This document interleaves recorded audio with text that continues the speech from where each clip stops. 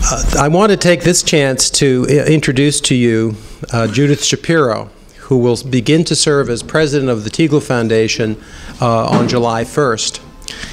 Uh, Judith and I have been following each other around for a very long time, and only lately have we known how often and how much.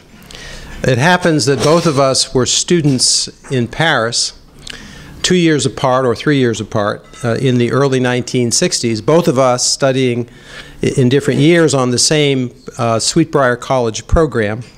It also happens that subsequent to that, we both went on into academic careers. We both taught predominantly at women's colleges. I became the president of a women's college. She did the same at uh, um, Barnard.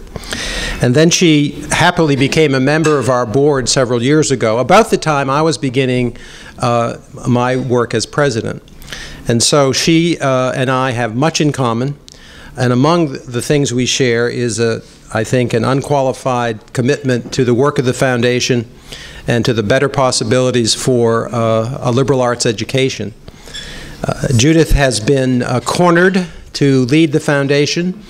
She was such a brilliant chair of the committee that uh, the committee kept on wondering how they could uh, invite her, entice her, insist that she take the position. She demurred very consistently.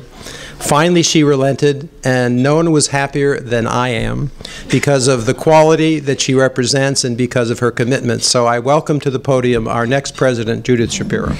Now, many of you, maybe especially Chris, will no doubt remember the famous words of Daniel Webster back in 1819, when, in the case of Dartmouth College v. Woodward, he defended the private status of his alma mater against state control.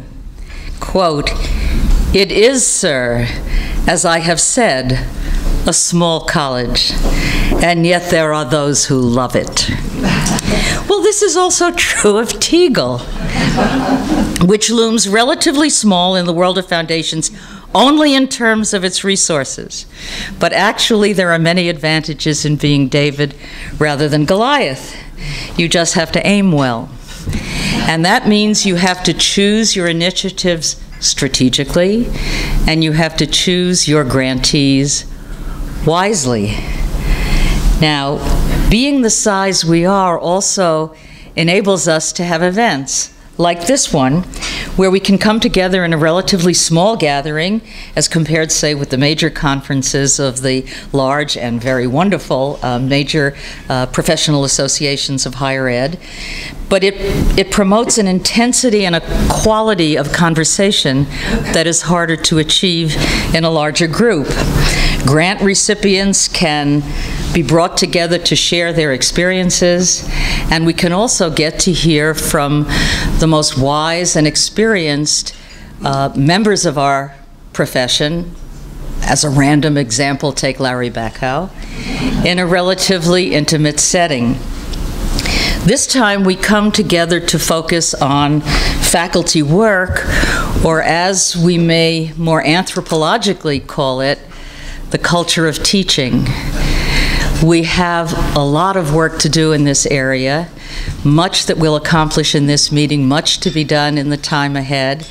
And so here is to all of the work that we will do together and all of the convenings and listenings of the future.